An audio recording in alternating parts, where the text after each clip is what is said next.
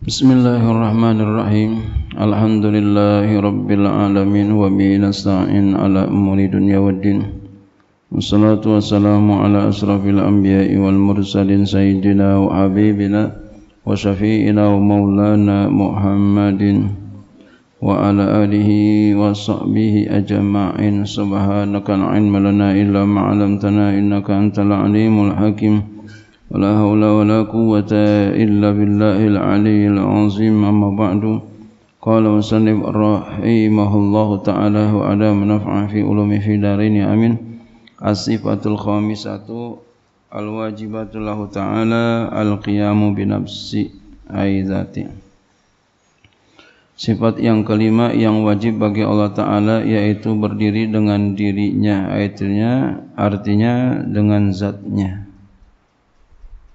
Allah berdiri dengan zatnya. Wa maknahu dan maknanya anna zatallahi ta'ala ghaniyatun an mahalin. Bahwa zat Allah Ta'ala itu tidak butuh ghaniyatun kaya. Maksudnya enggak butuh daripada tempat. Aizatin artinya zat. Takumu biha yang berdiri zat dengan tempat itu. Allah enggak butuh kepada zat. Allah enggak butuh kepada tempat. Beda dengan kita, kalau kita ini sangat butuh tempat.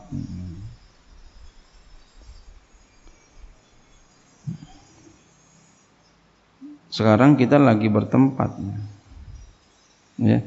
Kita punya tempat, ini tempat kita begini. Allah enggak kayak kita begini enggak bersemayam begini enggak iya. Wa ghaniyatun aidon an mukhassisin dan Allah juga enggak butuh ya daripada mukhassis ay mujidin yang mengadakan. Kenapa? Li annahu ta'ala al-mujidu lil asya'i karena bahwasanya Allah taala itu yang mengadakan bagi segala sesuatu. Wa dalilu ala annahu ta'ala dan dalil atas bahwasanya Allah Ta'ala qaimun bi nafsihi yaitu berdiri dengan dirinya antakula yaitu bahwa engkau mengatakan laukana ta'ala muhtajan ila mahallin jikalau Allah Ta'ala perlu butuh kepada tempat aizatin artinya kepada zat yakum biha yang berdiri ya di zat itu. Kama aftaqaral bayanu li zati allati yakumu biha sebagaimana butuh oleh warna putih kepada zat yang ia berdiri yang dia berdiri di zat itu lakana sifatan niscaya Allah itu sifat. Tapi kalau dikatakan Allah itu sifat mustahil. Kama annal bayadu sebagaimana warna putih alladhi alladhi taqara ila zati sifatun Sebagaimana bahwa warna putih yang butuh ia kepada zatnya itu adalah sifat. Allah enggak kayak begitu. Jadi Allah apa? Ya, enggak butuh seperti yang tadi ya. Enggak butuh seperti kita. Butuh tempat. Jadi kalau begitu bagaimana Allah enggak butuh tempat? Ya. Allah berdiri dengan dirinya sendiri. Kok bisa begitu? Itulah yang namanya Tuhan. Jangan dibayangkan bagaimana zatnya. Ya, kita pikirkan sifat-sifatnya yang mulia, yang besar, yang agung, yang hebat. Itu aja. Kenapa? Enggak bakalan sampai kita mikirkan hakikat zatnya Allah Subhanahu wa taala. Ya jelas beda yang mencipta dengan yang dicipta. Jauh kita pun begitu. Kita menciptakan sesuatu beda. Kita dengan apa yang kita ciptakan. Yang kita buat. Hmm. Kita bikin orang-orangan dari tanah. Beda enggak kita sama tanah tuh? Walaupun dulu kita asalnya tanah gitu. Hmm. Dengan mobil, buat mobil, buat kapal-kapalan, buat robot-robotan, buat robot ya. Orang dari robot Hmm, jauh bedanya. Wallahu ta'ala la yasihu ayyakuna sifatan dan Allah ta'ala tidak sah bahwasanya Allah itu sifat. Kenapa? Li anna'u ta'ala muttasibun bis sifati. Karena bahwasanya Allah ta'ala itu bersifat dengan segala sifat. Ya. Allah itu bersifat. Jadi Allah tidak sah bahwasanya Allah dikatakan Allah itu sifat. Kenapa? Karena Allah bersifat dengan segala sifat. Wasifatul tatasibu bisifati sifat enggak bersifat dengan segala sifat. Falaisa Allah sifatan, maka kalau begitu Allah bukan sifat. Walau takara ila mukhassisin ay mujidin yujidu wala kana hadisan. Dan jika Allah Ta'ala butuh kepada yang mengadakan, yujidu yang mengadakan, ia akan dia, akan Allah umpama. Lakana hadisan saya Allah itu baru. Allah itu baru. Baru bahasa Melayu, ya bahasa kita baru. Ini saya Allah itu baru. Kalau dikatakan baru apa? Ada, ya, enggak apa tidak di, di, uh, diawali dengan enggak ada. Kan baru begitu. Setiap yang baru diawali tidak ada.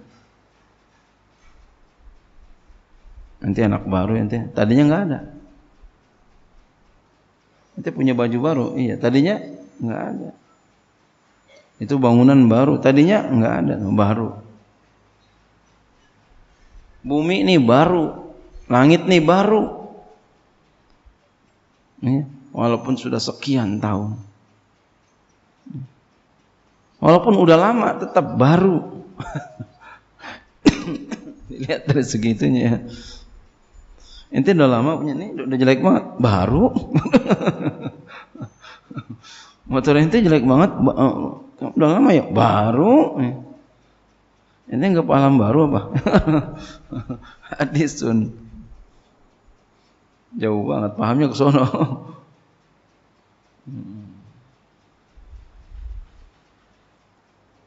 Ya.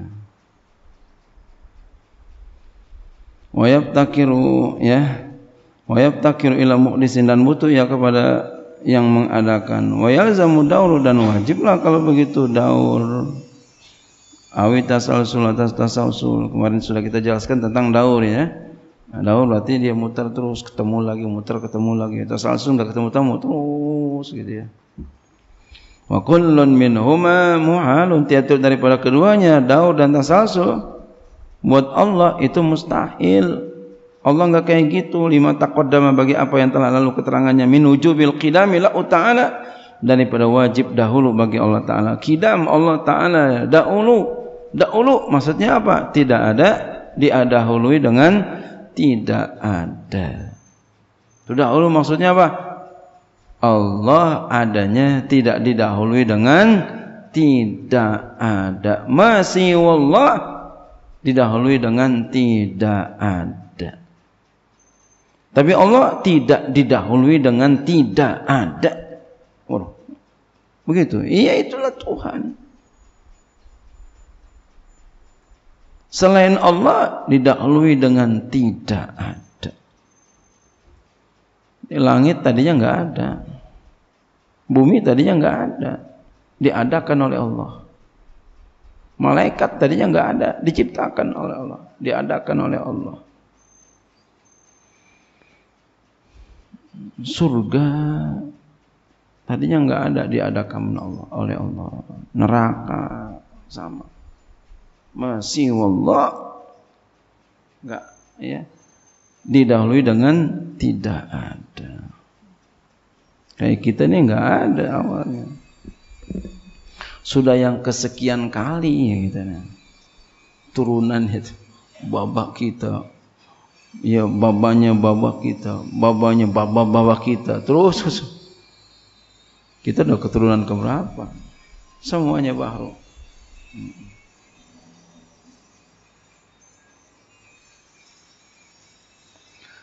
fasabatal matlubu maka tetaplah tetaplah yang dituntut wa huwa qiyamu ta'ala bi itulah berdirinya Allah taala dengan dirinya sendiri Allah berdiri dengan dirinya sendiri. Kalau kita nggak bisa berdiri dengan diri sendiri, kita ini butuh. Ya, kita serba butuh. Kita kepengen pinter butuh. Butuh siapa? Butuh guru. Bahkan kalau nggak ada guru, ya keblinger ya. Pinter keblinger, nggak ada gurunya. Nah, ada guru, ada tuntunannya. Pengen pinter butuh guru. Kita pengen makan, butuh apa? Butuh nasi. Nasi aja nggak cukup, piring. Piring aja nggak cukup, sendok. Nasi doang nggak cukup, lauk pauk. Nasi doang nggak cukup, air. Itu namanya kita butuh. Allah nggak ada kayak begitu kayak kita, butuh semua.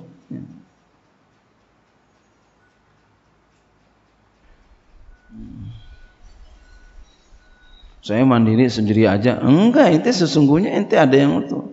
Alhamdulillah, Allah kasih mudah semua. Iya.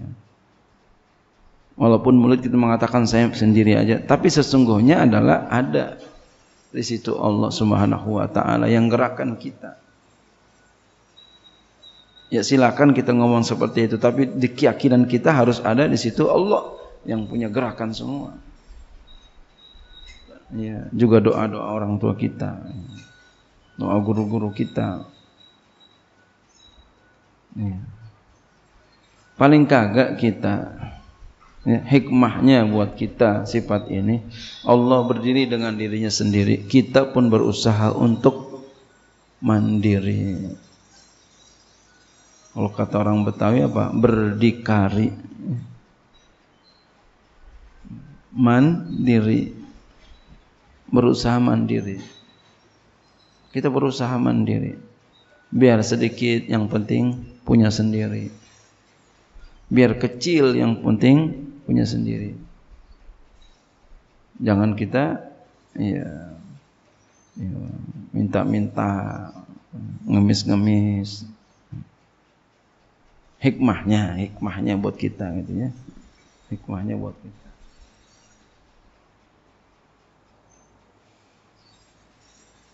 Jadi Allah enggak butuh. Nah kalau kita butuh. Kalau kita sangat butuh.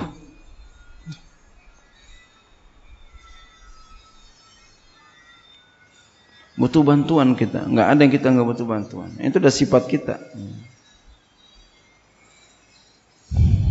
Nah, Allah senang kalau kita minta bantuan kepada Allah.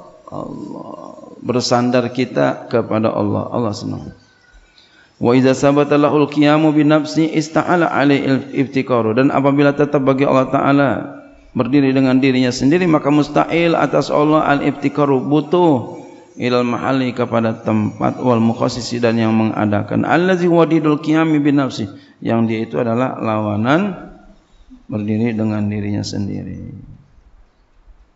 Jadi Allah ya sifat qiyamuhu ya binafsi berdiri Allah dengan dirinya sendiri.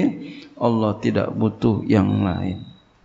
Allah sendiri menciptakan segala sesuatunya menciptakan langit menciptakan bumi menciptakan isinya semua sendiri jangan kamu bayangkan sendiri seperti kita kalau sendiri bengong aja kali ya nggak ada istri bengong itu kenapa Allah nggak ciptakan istri nah ini lagi begitu iya Eh, Allah bukan ente kalau sendiri iseng. Ya. ya. Allah bukan ente. Kalau kamu ini sendiri bengong aja, sambet. Allah enggak begitu. Maha agung, maha mulia Allah dengan dirinya. Wallahu a'lam bishawab. As-sifatu sadisatu al-wajibatu lahu ta'ala.